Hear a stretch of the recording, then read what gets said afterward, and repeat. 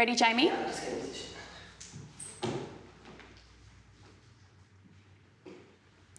Go.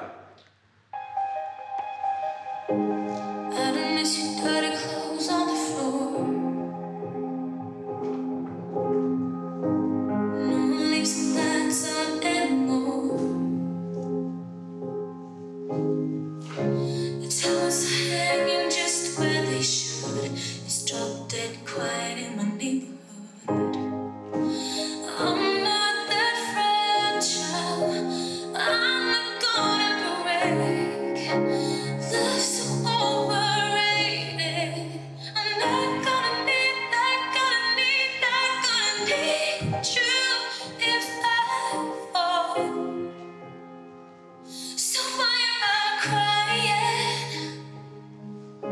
I'm not gonna need,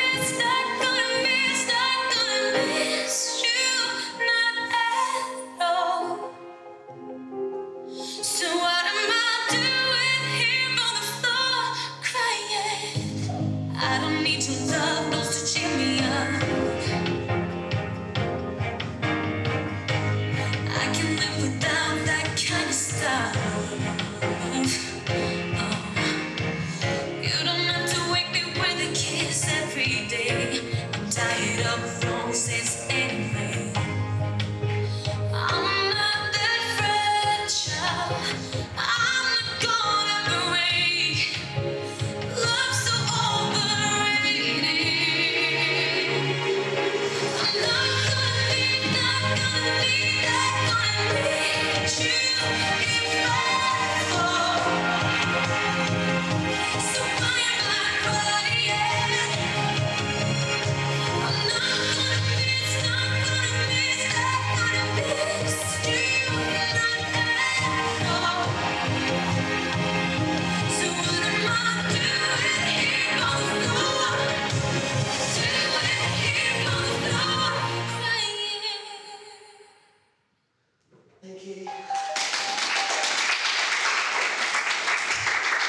Nice work, Ja'mie. That's coming along really well.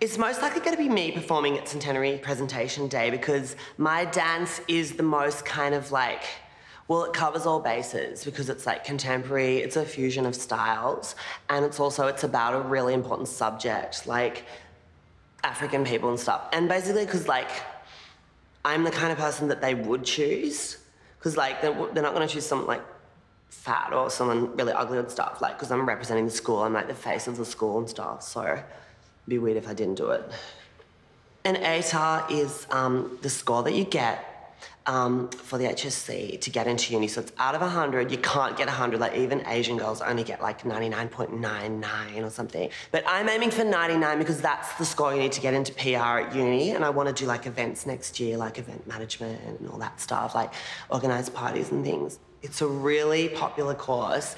Um, you well, The thing with PR is you've got to be really smart. And like that's why they only want the best girls to do it. Like some guys do it, but mostly girls, and they only want the best. So they're really selective.